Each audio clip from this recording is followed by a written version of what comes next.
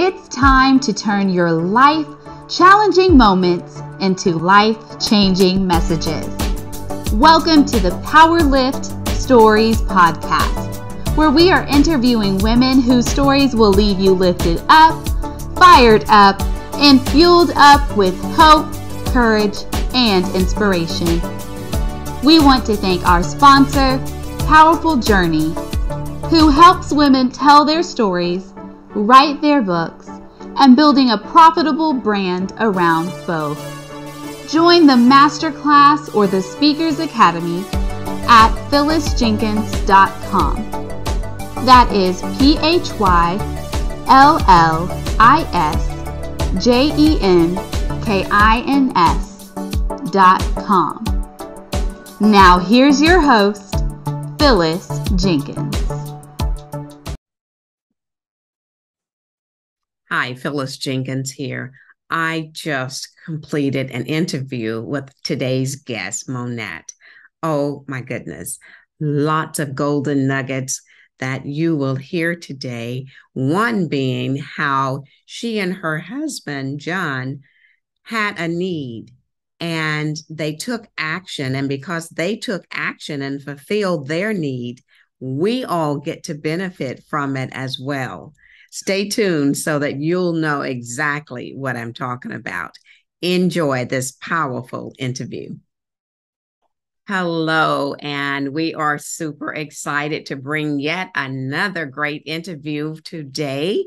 I have my new friend, Monette Mottenon, a beautiful sister who is in a Thrive Mastermind with me. That's how we met.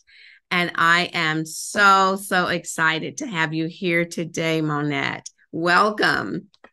Thank you, Phyllis. I appreciate your invitation. Absolutely. Well, I am going to introduce Monette to you, and then we're going to get right into our interview. I told her already it's going to be as if we are sitting in each other's living rooms, just chatting um, uh, and, and, and sharing great information for you to take away today. So, Monette Mottenon, affectionately known as Miss Mo, has been encouraging families for over 20 years. How great is that? She earned her Bachelor of Art in Life Science and Master of Science in Marriage and Family Therapy from Indiana State University. And that's when she realized that she wanted to impact families. Her greatest joys were uniting, reuniting families as a counselor in group homes, foster care, and adoptive homes. As a parent involvement facilitator, she has had the pleasure of inspiring parents to help their children reignite their hopes and dreams of being successful in school. You know, we're we're loving that. Um, just a little bit more, and then I'm going to let her finish it off. Um, Monette has earned her teaching certificate from Marian University in Indianapolis and her instructional leadership certification from Troy University in Alabama. She is married to her husband, John, and they have created the PGF Education LLC, of which PGF publication is part to continue imparting families in a global manner. Uh, Monette, I am going to let you just talk a little bit more about that in just a moment. Um, you and John have a blended family. You have adult children, grandchildren, great grandchildren, and you appreciate uh, creating, taking an idea from infancy to manifestation. I love that.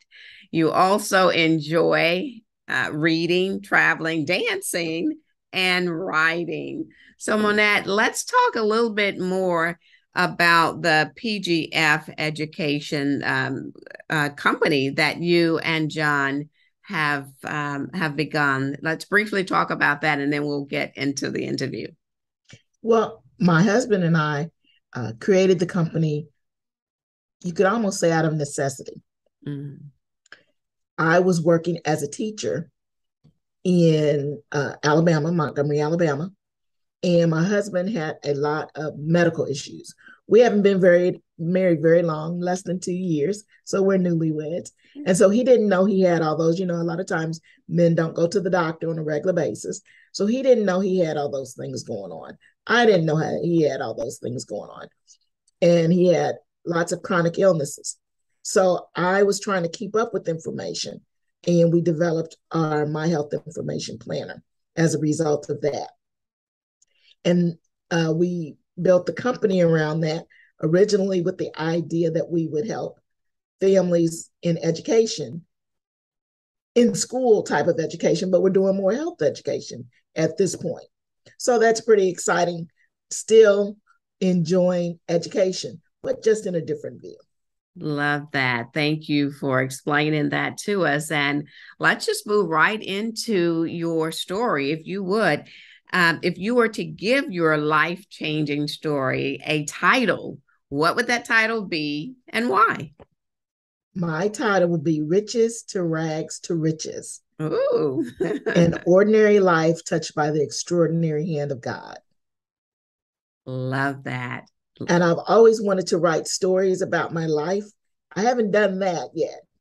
But the reason being because I've gone from highs to lows to highs to lows, not just riches in terms of financially. That was true too, because at one point we were homeless. And then also in insight, that you can be rich in insight and knowledge and information and put that to use. And sometimes you exercise it well, sometimes you don't. So it's kind of been up and down. So that's why I would name it that. And with that said, would you please share your life changing story? I'm going, there's so many. I'm going to focus on the my employment aspects. And the reason I'm focusing on those is because a lot of times, a lot, well, we have the mass exodus, let's face it. Mm-hmm, We've mm-hmm. had a mm-hmm. lot of people leave their careers and they leave for a variety of reasons. And when I was first coming out of college, I had a position as a counselor and I was fired because I was working for the the patients and not for the doctors. Oh. And so I was fired and a friend of one of the ladies who was my supervisor, we started a business. It didn't go well, but that's okay. That was kind of the down. And then I was looking at another position and I did that's when I did the foster care and adoption services and those things. And then I was looking for another position and I found one. Well, actually, I was at a school and I told them, you all need someone to help parents with their help their children with their schoolwork and help them understand what's going on here because they were closing different schools and some of the schools seemed to be really good schools but they were old schools so mm-hmm. they were mm. closing them and they said why don't you do it i was like that didn't even exist and it didn't at that time i've had lots of jobs over time that did not exist initially when it was approached to me or when i thought about it, it didn't even exist so sometimes we think we want to go a certain way, but divine order says everything is in order. So just mm-hmm. because you don't get it right now doesn't mean you're not going to get it. And it doesn't mean that it's it may be a delay, not a denial from God. Absolutely. And so I didn't have that pos- the position finally came available and I applied and had an interview for 15 minutes and I was like, you know, not necessarily thinking I was going to get the job, but I did. And that was exciting. I did that for 10 years. That was a parent involvement facilitator position. I did that for 10 years. Well, in that meantime, you know, I got tired of doing that, wanted something different. Again, the position I wanted didn't exist, or that I got did not exist.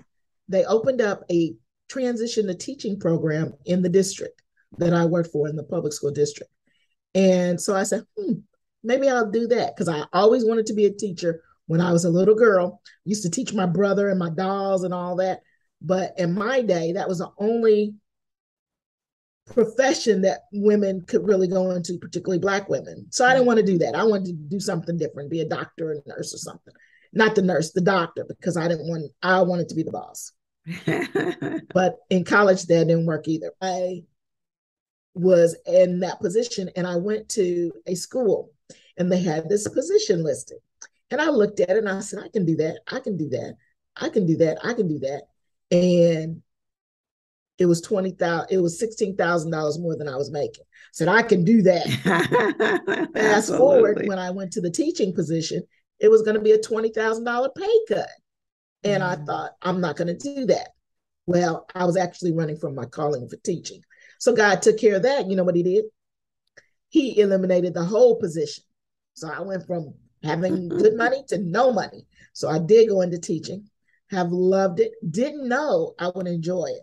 Didn't know I would enjoy high school, middle school, elementary school. I've been all levels. Didn't know. However, I've been in and out of that too. Ran again. I went to banking. I sold cars. I've done all kind of running from my calling. But again, mm. I had a position when the Affordable Air Care Act first came out. I was enrolling people in the Affordable Care Act and insurance. Again, teaching people about mm-hmm. healthcare and insurance and educating them. And I just went to a, another place to enroll people and got an interview at they were having open interviews for teachers. I said, I wonder if I should go back into teaching. Mm-hmm. And I was hired again. Again, it was totally divine intervention. Taught there for five years. Again, I was I commuted for 45 minutes there and back. So I was ready for a change. And that was during the uh, pandemic. And so when I was home, I was like, this is kind of nice not to have to travel back and forth. I found another position. Again, this position was something that I wanted to do for years, but there was no opening. And I got an opening. Did that for a year. It wasn't what I thought. And that was okay too. So again, I was unemployed, and that was okay too. And then I found another position, loved it, and I'm with the same company now. My husband, when he got sick, I quit work because I couldn't get FMLA. So I quit uh, to be with him. Fast forward, I went back to work with the same company, different school, same company. They love me, I love them. So you never know. Don't burn bridges. Mm-hmm. Absolutely. Make sure you keep your relationship strong and make sure you trust in God with all of it because He will guide you. And I wanted to share uh, also, age doesn't matter either. I wrote this book, my husband and I, he's 74, I'm 61. Doesn't matter what age. That's uh, right. Even if you have been wanting to do something and you've had a dream for years, go for it. Doesn't matter your age, young, old, whatever. Age has nothing to do with it. It's all about God's timing. It is indeed. And the pastor yesterday preached a sermon, and one of the things that he said was, You're never too old to become what you were meant to be. And mm. that goes right along with what you just said. So, somebody today who is listening, Monette, needed to hear this. It's true. You've been delaying and putting off the assignment that God has told you to do. And you've even come up with the answer that I'm just too old. Well, we have just let you know that you're never too old to do what God has created you to do. And we encourage you to go forward and uh, move into your God assignment and watch Him work. Monette, I love all of the doors that He has opened for you, but they kept leading you right back to your purpose, That's which true. is teaching. And um, you know, God has a way to to bring us right on back. He'll let us go where we want to go for a while, but He has a way to draw us right on back to where He wants us to be. Um, and so, in your business, how do you teach um, in your business today? Well, it's interesting because we are going to do workshops where we'll teach people how to use the planner. Mm-hmm. I'll show you the planner. Yes. I love it, of course. and the planner is a very beautiful cover. She did an excellent job. Oh, it is. It cover. is. Yes. And so that's our book, and it has tabs in it, as you can see. Mm-hmm. It has different tabs and different sections. And with the different sections, we want to share pe- with people uh, what they can do with the book. And this is my favorite section. Let me see if I can put it in there well. There you go. You know, you go to the doctor. Yes. They give you information and you think you're going to remember what they said, but we don't. Once we That's leave right. there, we forgot. you can put your, you know, and then we have questions before you go to the doctor. We write them down and then we forget the paper. and so in the planner, you can write your questions before. You can take notes in when they prep you or any preparation you need to take for the appointment. And then during the appointment, you can write your notes. And they don't mind you writing notes. They don't want you to record, but they don't mind you writing notes. And then after, what do you need to do after? Did you get prescriptions? Did you get any? What was your diagnosis? All of that is in the book. That's my favorite section. And that's the section I use the most with my husband, of course. So that's how, and then teaching people how to actually use the book about how to track information. You have chronic illness. How are you going to help yourself? How are you going to do this? Mm-hmm. Because our tagline is promoting generational health, is what we want to do. That's so great. That's, that's great. So you all found a need and you filled it. There was True. a need. There was a need, a personal need you filled it, but now it has become something that nation nationwide can use. I mean, That's people true. everywhere can take that planner to their doctor's office and share from the planner, record while they're there, and then take it home and be able to go back over everything that the doctor has said. Because as you stated, we will forget something um, and and so I love love love that. Before we finish the interview, I will have you to let our listeners know how they can order their own and uh, and even give as gifts to others because most of us um, if even you know for ourselves but we have parents who are aging and it's would be great to have one of those planners to take to the doctor's office for our uh, our parents as well. So absolutely love that.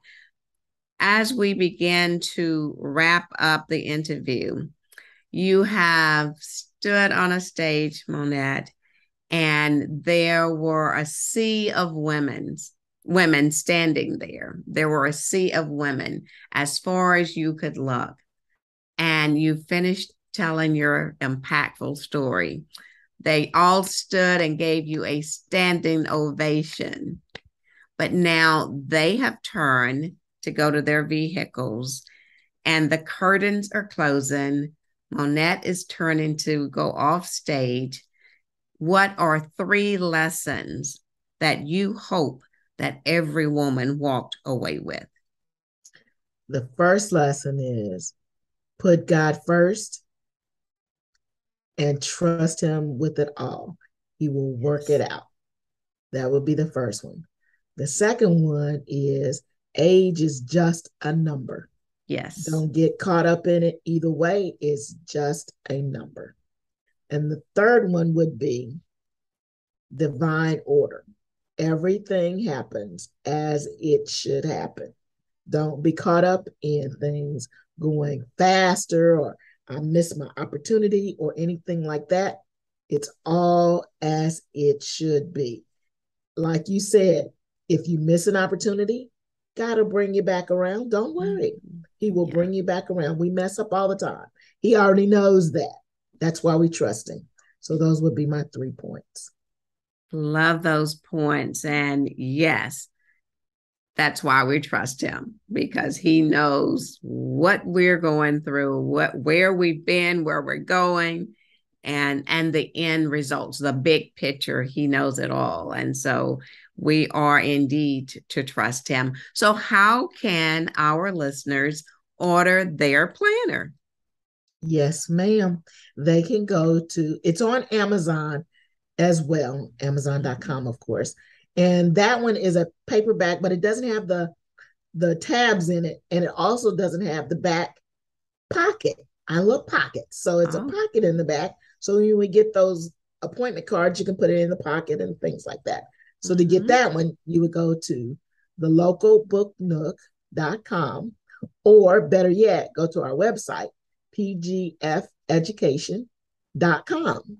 pgfeducation.com. And you can see all the information and order the book right through the Book Nook on our website.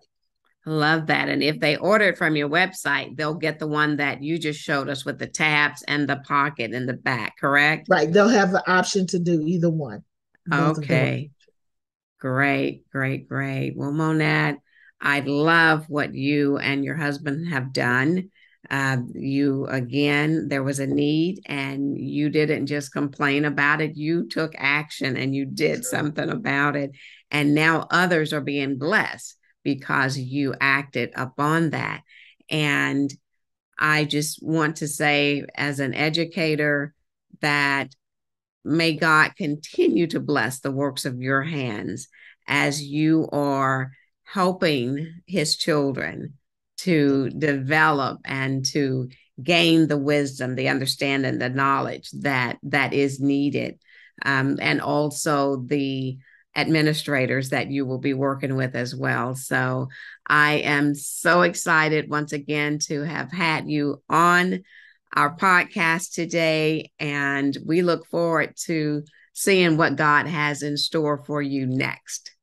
Thank you. I appreciate it.